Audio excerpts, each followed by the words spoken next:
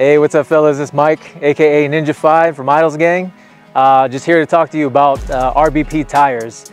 Uh, man, I've been running these things for a little over a year right now. I had the um, MT tires.